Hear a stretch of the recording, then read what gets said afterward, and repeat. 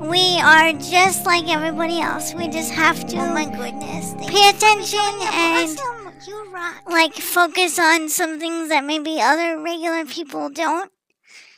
But that doesn't make us like any less than non disabled people.